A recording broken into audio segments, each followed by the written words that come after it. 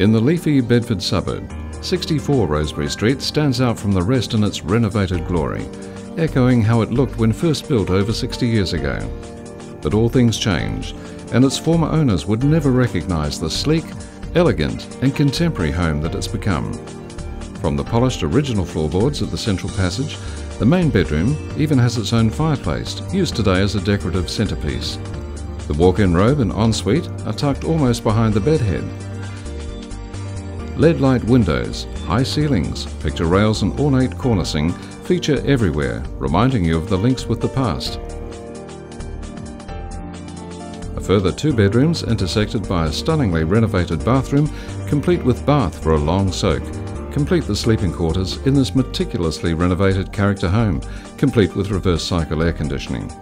A generous sized laundry opens to its own drying area. And here's the kitchen to die for, with a microwave uniquely positioned within a pantry area, once occupied by an older style stove. All modern appliances, surrounded by Caesarstone bench tops, will make any home chef happy, and there's heaps of room for the cat, kids, or dog, maybe even a couple of adults, with more polished floorboards for easy upkeep. There's plenty of cupboard space too.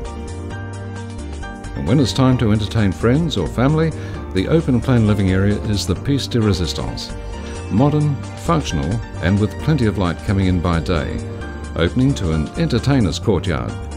The grounds, front and back, are fully reticulated, and the landscape gardens are easy care and look a picture. There's a lock-up garage for one, easily widened for two, and in total there's currently parking for six vehicles. Close to Beaufort Street, shops, restaurants and public transport this home from yesteryear awaits fresh faces to complement its own fresh face.